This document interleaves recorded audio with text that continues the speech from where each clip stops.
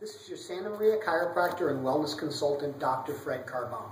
I've got an article I want to share to you with you today on probiotics and how they can actually help prevent things like colds. It's actually one of the largest studies ever done, and it was done by the British Journal of Nutrition.